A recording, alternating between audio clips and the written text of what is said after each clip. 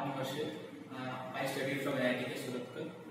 So I completed my degree and I was preparing for IAS. So uh, I had a year gap. So I joined QSpiders for the training.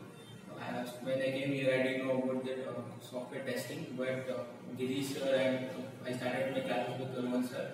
SQL was very good. He developed uh, our interest in SQL, and then Girish was excellent. So I he made me uh, think back in this career.